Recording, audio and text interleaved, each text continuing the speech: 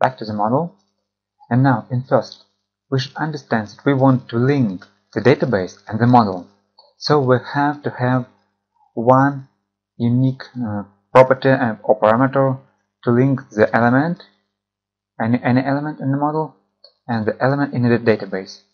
In database, we have model element ID, and we will use it because we, we have elements with this particular ID in model.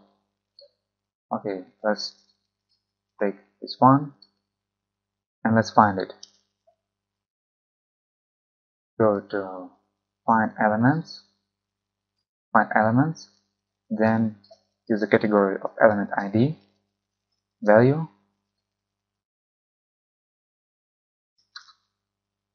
and find all. And here it is. And we will work with uh, tables with tables and we will get the information from the database about the company about the person who's using this table now and how to make a link and first you should know that we can make a link between the particular file this file and we can make the special database which can be linked to any kind of file. In first time, let's do it with the first with this particular file. Go to the Home and File Options. And here we have Data Tools.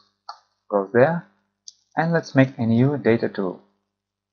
New one and let's name it Table. This is the name of the link. The name of the link with database. We can press OK and that's all. Now we have special link, but we haven't choose haven't chosen the table, haven't chosen the database and the and the data. Go to edit it, and now first we should choose a driver because we we're using the Access now. Let's uh, try the Microsoft Access driver, this one. Then we should use we should get the database. Go to setup and then let's let's find it select and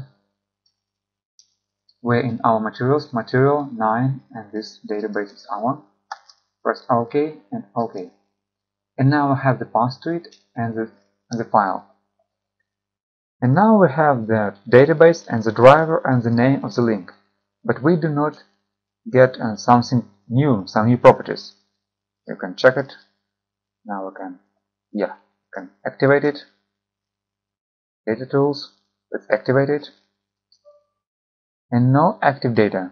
And so we have to set it in the next video